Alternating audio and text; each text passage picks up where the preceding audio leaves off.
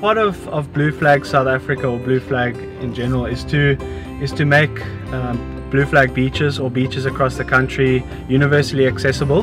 What we decided is is to partner with uh, the foundation um, in purchasing in purchasing these uh, amphibious wheelchairs. What I loved about this wheelchair is from the minute we hit the ramp it was so easy and so light on the sand and we were able to stroll right till by the beach and she loved being in the water because it gave her that freedom where for the first time she didn't have to be hold on to anybody.